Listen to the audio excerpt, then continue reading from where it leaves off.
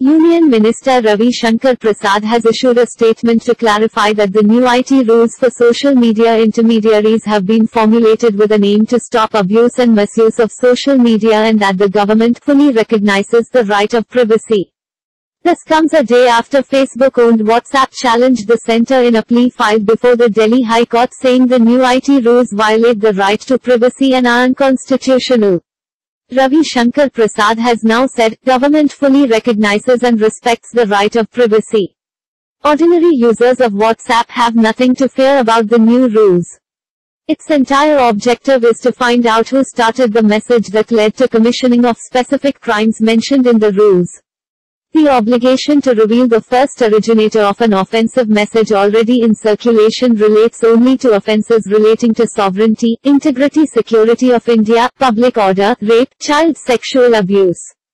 That too when other less intrusive measures are not effective, Prasad said. The union minister further added, the new rules are only designed to prevent abuse and misuse of social media. Government welcomes criticism including the right to ask questions. The rules only empower the ordinary users of social media when they become victims of abuse and misuse.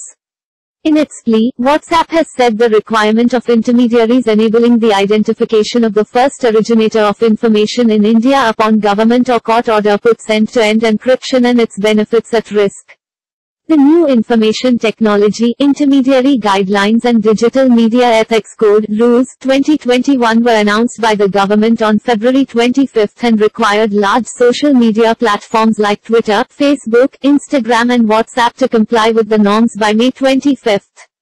WhatsApp has also sought that no criminal liability be imposed on it for any alleged non-compliance with Rule 4.2, which requires to enable the identification of the first originator of information.